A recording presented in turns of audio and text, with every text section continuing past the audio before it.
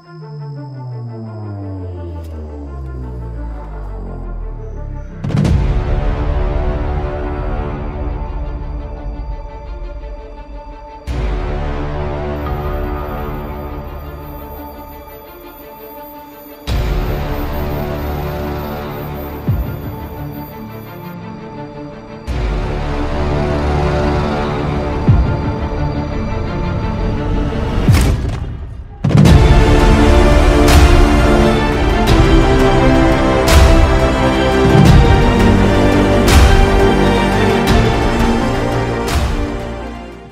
kita sekarang udah di lokasi nih.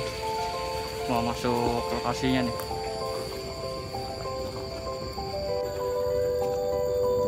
Fotonya guys. Biasa. Peralatannya nih.